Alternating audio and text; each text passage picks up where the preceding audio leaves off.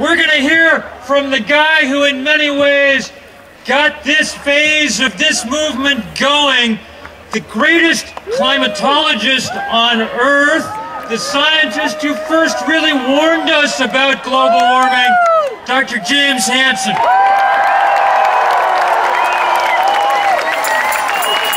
Thank you. Tar sands are the turning point in our fossil fuel. Tar sands are the turning point in our fossil fuel addiction. Either we begin on the road to breaking our addiction to a clean energy future, or we turn to even dirtier fossil fuels, tar sands, tar shale, digging up pristine public lands to get the last drop. This is a critical juncture. There is a limit on how much carbon we can pour into the atmosphere without pushing the climate system to a point that it is out of control of young people and future generations, with consequences that we are already beginning to glimpse.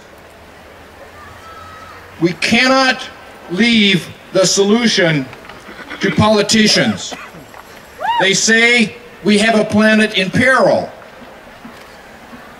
They propose action that is designed by big banks, big oil, big coal, and big utilities. But it does almost nothing to solve the climate crisis. The fundamental fact is that as long as fossil fuels are the cheapest energy, they will continue to be used. But they are not really cheapest. They are subsidized heavily and they do not pay their cost to society for their impact on public health, the environment, and the future of young people.